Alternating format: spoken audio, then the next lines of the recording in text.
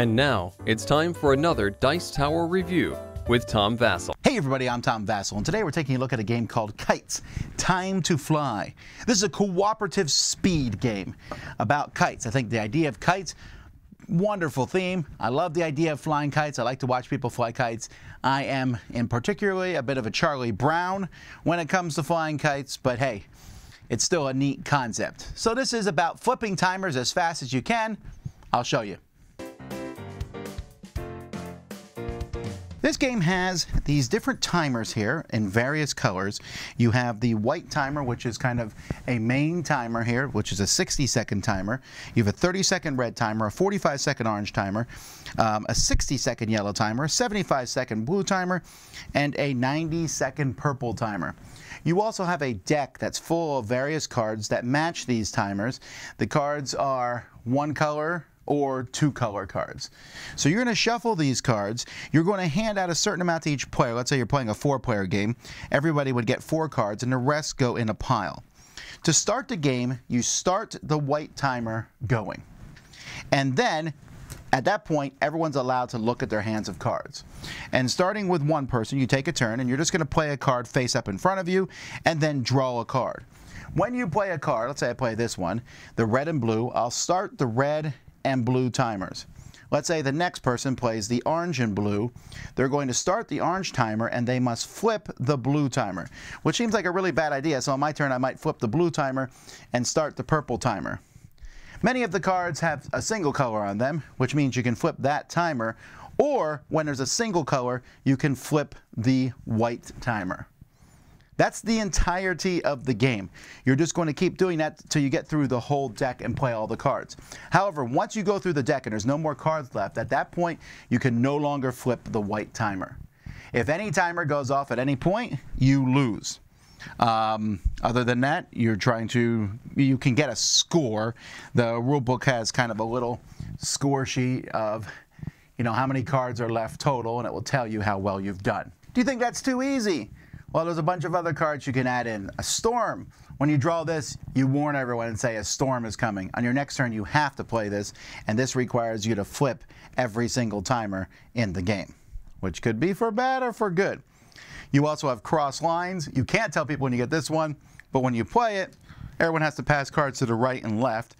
And airplane, again, you don't tell anyone when you get it, but when you play it, until your next turn, until you cover it up with another card, nobody can talk. And that's the entirety of the game. One of the interesting things about the game is, unless I, I, played this game several times before I knew that the timers had different times. It tells you here in the list of components, and I don't know how I never noticed that. But I will say I went through and counted the icons. So for example, red is 30 seconds and purple is the 90 second one. And there is uh, more than double the number of red tokens in the deck than there is purple, which makes sense. It's going to flip over more often. You'll notice each timer has a symbol on it, so when you're playing, you don't have to worry about colors. You can just match symbols if you want to. Card quality is, well, it's okay at best, which is unfortunate because these cards are going to get thrown around and beat up a lot. I don't mind the art. I think the art looks great. I like the theme of kites. The timers seem to be good quality, which is a big deal in a game like this. I just wish the cards were slightly nicer. This is definitely one of those times where from watching this review, you automatically know if you're going to like the game or not. I mean, if you like the idea of flipping timers and keeping track of which timers are flipped, and speed, and yelling and shouting, flip the blue timer, flip the blue timer, that's what this game is all about. And there's not we talked about it after like the third or fourth game. People were saying, okay, what if we don't pick up one of the timers as long as possible?